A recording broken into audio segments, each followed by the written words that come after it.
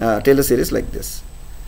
So let us say that now I want x1, x1 is very very close to x naught. Then what happens? I get x naught plus uh, f dash of x naught into you are substituting the value of x as x1. So x1 minus x naught plus f double dash of x naught by 1 by 2 factorial into wherever x is there you are substituting x naught. So plus etc. Okay. So I hope yeah now you can see that.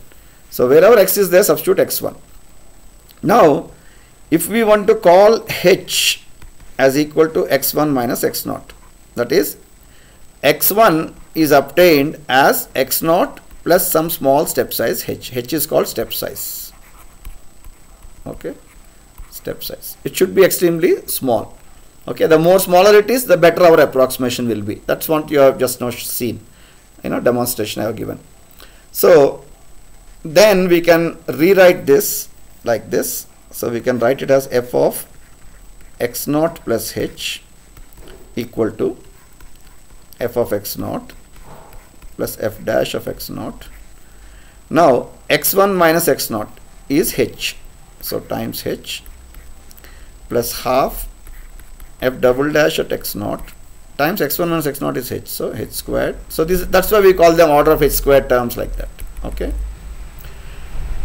And uh, so you see if I were to know if I get x1 once I know the value of the function at x1 then I can calculate the value of the function at x2 right so that means in general if I have the value of the function at xi I'm I think slightly going fast. I hope you will be catching it up.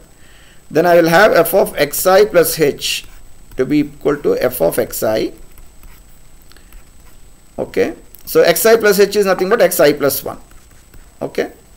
And this is f double da f dash of xi into h plus half f double dash of xi into h squared etc okay